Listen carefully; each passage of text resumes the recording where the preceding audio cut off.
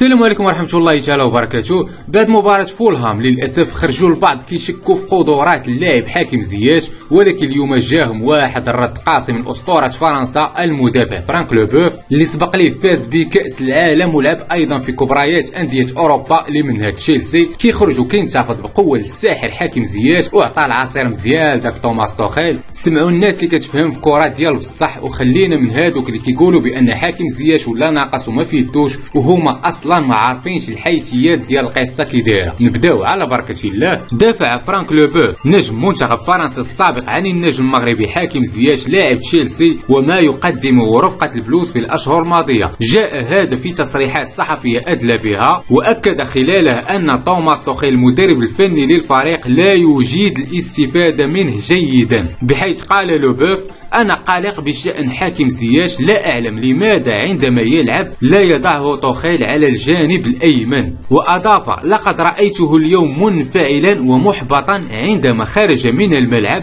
بعد أن لعب كصانع ألعاب لا أظن أن ذلك هو مركزه الحقيقي. يعني أساطير العالم كاملين كيقولك بأن حاكم زياش المكان الأصلي ديالو اللي غادي يعطي فيه هو الجانب الأيمن بينما توماس توخيل الوحيد اللي ما مقتنعش بهذه الهضرة بتاتا. يعني متصلب للرأي ديالو بشكل مبالغ فيه. وأيضا قال لوبوف على توماس توخيل أن يفكر في الدفع بزياش في الجانب الأيمن. هو مثل رياض محرز ونسخة منه. وأكمل لا أرى بيب غوارديولا يدفع بمحرز في مركز آخر غير الجانب الأيمن. فلماذا يفعلها توخيل اللي فهمنا من كلام لوبوف أن توماس توخيل لا يجيد الاستفادة من حكيم زياش جيدا.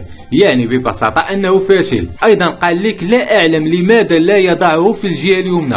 يعني توماس توخيل لا يفقه شيء في كرة القدم. وسبحان الله ديما كنقول لكم بأن توماس توخيل فاشل ولا يفقه شيء في كرة القدم. والحمد لله كيخرج لاعب كبير مثل لوبوف وكيتبث صحة هذا الكلام. وباش نكون معكم أكثر دقة هذا الكلام غادي نحلوه بالأرقام بحيث أن حكيم زياش السجل ديالو مع تشيلسي كصانع ألعاب لعب 16 مباراة في كل البطولات. تخيلوا معايا سجل هدفين فقط ولم يصنع أي هدف في كل تلك المباريات.